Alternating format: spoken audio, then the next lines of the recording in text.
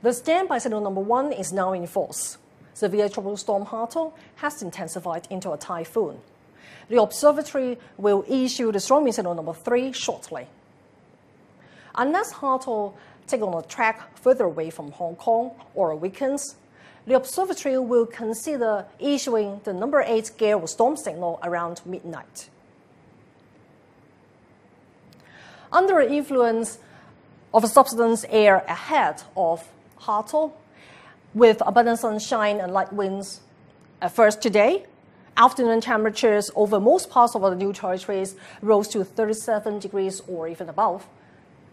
And the Hong Kong Observatory even registered a record high of 36.6 degrees. And it is a record high since records began in 1885, and that is one, more than 130 um, years or so. At 4 p.m., Hato was centered at about 440 kilometers east southeast of Hong Kong and is forecast to move west northwest at about 25 kilometers per hour towards the coast of Guangdong.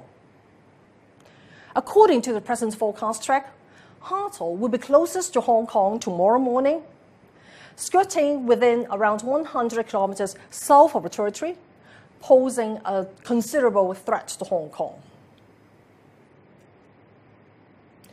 The weather is now deteriorating over territory, and the rain bands associated with Hato are affecting territory. There will be squally heavy showers and thunderstorms, as there will be a high tide tomorrow morning.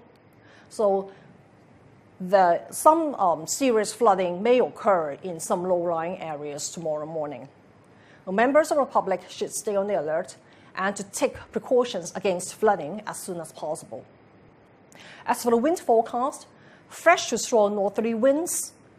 Winds will strengthen gradually and will turn to east to east southeasterlies tomorrow morning. Rough seas with swell. Members of the public should stay away from the shoreline and not to engage in water sports. You should also take all precautions against strong winds and flooding as early as possible.